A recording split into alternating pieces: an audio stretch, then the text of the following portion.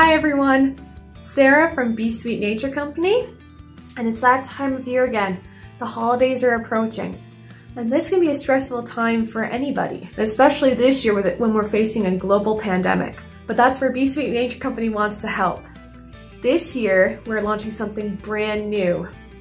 This year we have made Canadian beeswax hand-rolled candles, which look and smell amazing. And they make wonderful gifts for your family and friends and also really fun stocking stuffers or even if you just want to place them on your dining room table.